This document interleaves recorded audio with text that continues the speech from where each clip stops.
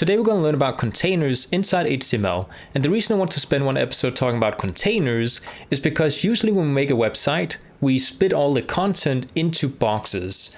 And this is something that we can kind of tell on a lot of websites. So I thought today we're going to talk about you know how we split up the content inside websites.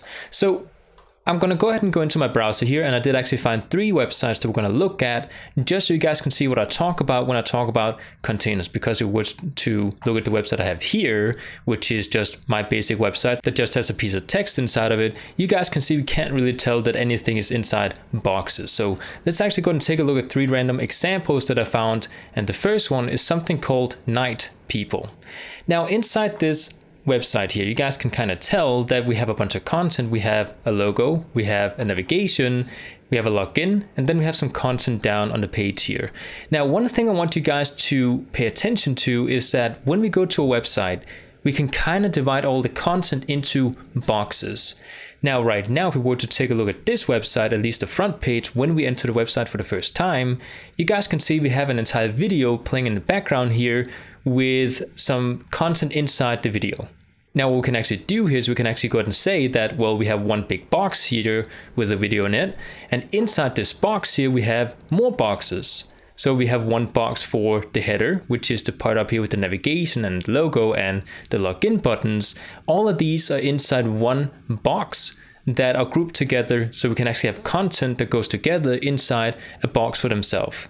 Then we have some text down here that says we unite construction business, blah, blah, blah, which is also going to be inside a separate box for itself. So everything inside a website is inside boxes. If we were to scroll down, you guys can see that the box with the video in it actually disappears. And we have another box that has our sectors inside of it. So we have an entire box here that has a white background with another box inside of it that has content such as a header, it has a piece of text, and four different links inside of it. So if we keep scrolling down, you guys can also see we have a map. This is also a box that has a map inside of it. And we have a sidebar over in the left side, which is also a box that has content inside of it. So everything inside the website is made out of boxes. If we would take the next example here, you guys can see we have a header at the top here. Now it's a bit more clear to see that we do actually have a box inside uh, the top of the website here. So we have a logo, we have a navigation and the login button. And all of this is inside a very wide box that has all the content. If we were to go a bit further down, you guys can see we have a video with a bit of content on the right side here, which is also inside a box inside this box that contains the video. So again, everything is inside boxes. So all these websites here that I'm looking at, even though they might seem complicated, all the content are going to be put inside boxes. So if I were to go inside the code of my website here, you guys can see that right now we don't actually have any boxes inside the code. Right now we just have a paragraph.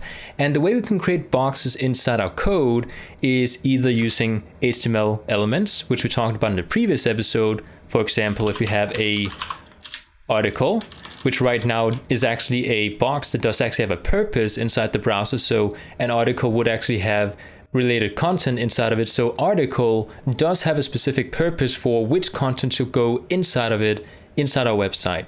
Now, if I want to create a box that has no purpose inside the website that I can just use any place that I want to group content together, such as the paragraph down here, and maybe if I were to create a h2 tag that has this is the title, and then the paragraph then is going to be, you know, whatever text belongs to the title. If I want to group this together inside a box so I can move around the content using styling, which we're going to talk about in the next episode, because in order to actually tell the browser where we want the content, we need to style our code inside the website. So right now, if we were to just save this, you guys can see that the text is just going to be up in the corner. And if I want to move it around, such as centering it or changing the text so it doesn't look this boring, we need to do it using CSS. And we call that styling the HTML. So we're not going to talk about that yet, we're going to do that in the next episode. But if I were to put this inside a box, I can actually go ahead and create something called a div.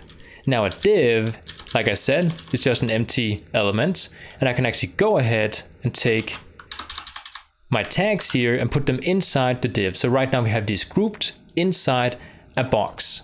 And we can actually go ahead, if I want to move around the h2 tag and the paragraph inside the website, I can just go ahead and style the div tag here, which, like I said, we do using CSS, in order to move around the content inside of it. So if I were to go back inside one of the websites we looked at, for example, we could take Humankind, I can go ahead and scroll down into some section inside the website, such as this one, you guys can see we have some content on the left side and we have some content on the right side. If I want to take a look at what we do actually have inside the website, I can actually go ahead and right click which is a small trick that I can actually show you guys in order to see the code of any kind of website. And this is not something that you can block. Anyone can go to your website and see the code, at least the front end code that we code using HTML, CSS. So in order to see this code, we can right click on the website. For example, want to see the code of this specific section here, I can right click on it, go to inspect, and then you guys can see we get this small window here with code inside of it. And this is actually the code inside the actual website, at least when it comes to the front end part.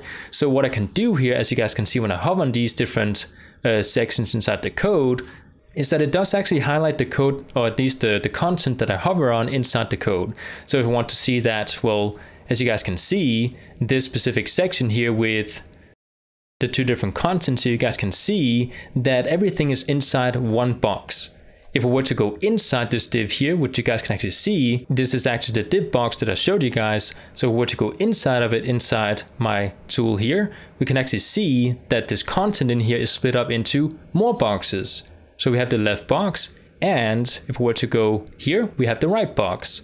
So we can actually see what is actually going on inside the front-end code when we use this developer tool inside any kind of browser. So as we continue this course here, I'm actually going to show you guys how we're going to use these boxes such as the div box or some of the other HTML elements inside our website. So we can actually split up the content inside these boxes that I'm talking about. So I hope you guys enjoyed and I'll see you guys next time.